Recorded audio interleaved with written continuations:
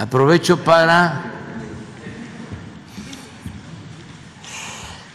comentarles de una vez que frente a esta protesta de los distribuidores y comisionistas del gas, estamos eh,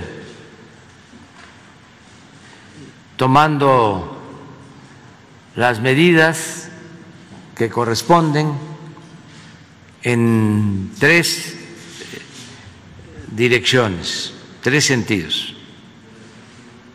Primero, garantizar el abasto del gas a los pobladores de la Ciudad de México,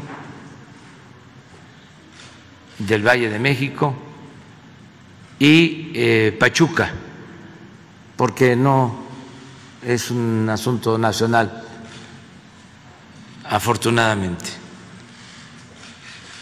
Es aquí en la ciudad donde hubo esta protesta el día de ayer y en Pachuca.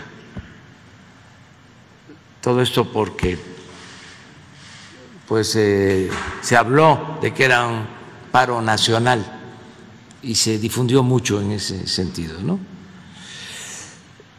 Ya estamos viendo cómo garantizamos el abasto en una situación de emergencia.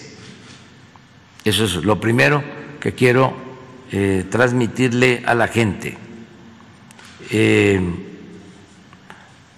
el punto dos es que se está analizando la posibilidad de presentar denuncias en contra de quienes eh, se nieguen a cumplir con su obligación de prestar el servicio de un insumo fundamental para la gente.